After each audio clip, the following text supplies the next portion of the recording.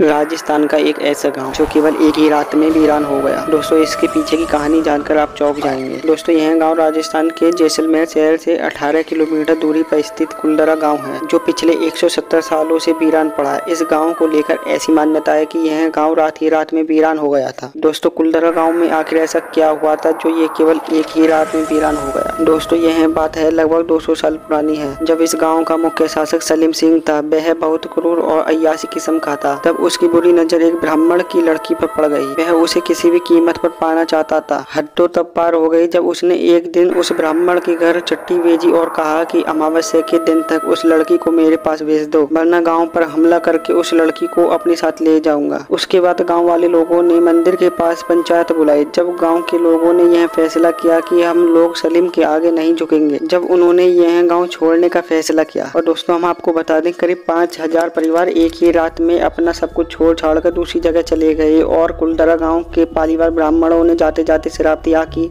यह गांव कभी भी बस नहीं पाएगा और तभी से आज तक यह गांव वीरान ही पड़ा है दोस्तों ऐसी जानकारी के लिए चैनल को भी सब्सक्राइब